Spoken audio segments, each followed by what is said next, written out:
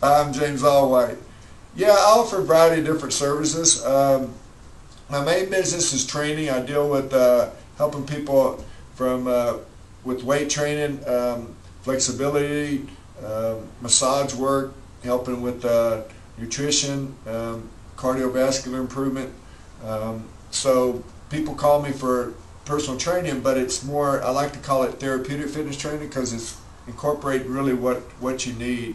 You know, I can give you what you want, but I try to educate you on what all you need, okay, which is a whole program. Um, but yeah, everybody comes to you for different needs, so it depends on, on your, your needs, and, and I work that program depending on your, your goals and so forth.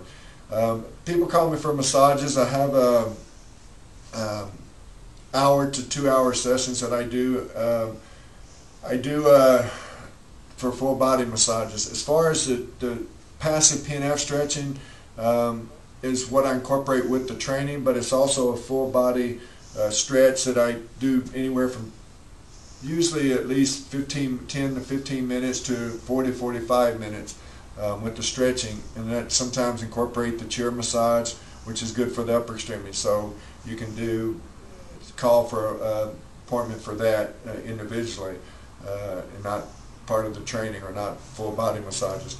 As far as um, sports background, I have sports background. I was an all-around athlete. I played uh, college quarterback. I was uh, uh, had a scholarship down in Arkansas. But what happened? Um, uh, I help people, kids. I coached high school football, so I work with uh, people to help them be better athletes, helping them to uh, improve their agility, mobility, helping them get faster, stronger, quicker. Um, so yeah, it depends on everyone's needs, helping improve their, their game, uh, golf, tennis, uh, helping them in football, basketball, baseball, track and field, dancing, swimming. That's what I was my background in.